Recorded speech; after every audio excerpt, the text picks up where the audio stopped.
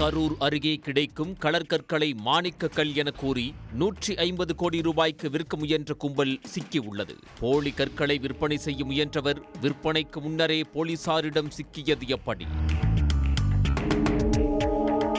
கரூர் மாவட்டம் வெள்ளியணை ஜெகதாபி மாணிக்கபுரம் உள்ளிட்ட கிராமங்கள் இயற்கை வளங்கள் மிகுந்த பகுதியாகும். பல இடங்களில் பூமிக்கு அடியில் விலை உயர்ந்த கலர்கற்கள் எடுக்கப்பட்டுள்ளது.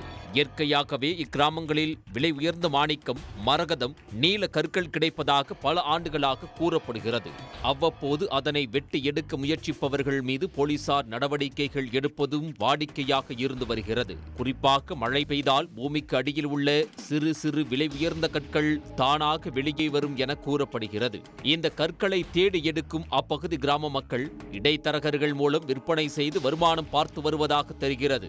இந்நிலையில் திண்டுக்கல் மாவட்டம் பாளையத்தை அடுத்து ஐயனா கவுண்டனூரை சார்ந்த முப்பத்து நான்கு வயது லட்சுமணன் கோட்டானத்தத்தை சார்ந்த நாற்பத்தி ஏழு வயது மாணிக்கம் ஐயம்பாளையத்தைச் சேர்ந்த நாற்பத்தி நான்கு வயது மணிவேல் ஆகிய மூன்று பேரும் திண்டுக்கல் மாவட்டம் பாளையத்தைச் சார்ந்த பாஞ்சாலியம்மாள் என்பவரிடமிருந்து மாணிக்கக்கல் வாங்கியதாகவும் அது தங்களிடம் இருப்பதாகவும் கூறி வந்துள்ளனர். இந்த நிலையில் இந்த கற்களை விற்க கோவை சேலம் உள்ளிட்ட பல்வேறு மாவட்டங்களைச் சார்ந்த இடைத்தரகர்கள் எட்டு பேரை கரூருக்கு வரவழைத்துள்ளனர். கரூர் அடுத்துள்ள ஏமூர் கத்தாளப்பட்டி ரோட்டில் சின்ன பூவன் என்பவர் கட்டி வரும் புதிய வீட்டிற்கு வரவழைத்துள்ளனர். அங்கு வைத்து மாணிக்க கல்லின் விலை நூற்றி ஐம்பது கோடி ரூபாய் என பேரம் பேசியுள்ளனர். அதற்கு முன்பாக உங்களிடம் இருக்கும் மாணிக்க கல்லை காட்டும்படி எட்டு பேரும் கேட்டுள்ளனர். ஆனால் கல்லை கண்ணில் காட்டாமல் நீண்ட நேரம் கல்லின் விலை நூற்றி ஐம்பது கோடி என விலையை மட்டும் பேரம் பேசி காலம் தாழ்த்தி வந்துள்ளனர். அந்த வீட்டில் பதினோரு பேரும் நீண்ட நேரம் நிற்பதையும் அவர்கள் பேசிக் கொள்வதையும் பார்த்த அப்பகுதி கிராம மக்கள் சந்தேகத்தின் பேரில் வெள்ளியணை காவல் நிலையத்திற்கு தகவல் தெரிவித்தனர். அங்கு சென்ற போலீசார் அவர்களிடம் மேற்கொண்ட விசாரணையில்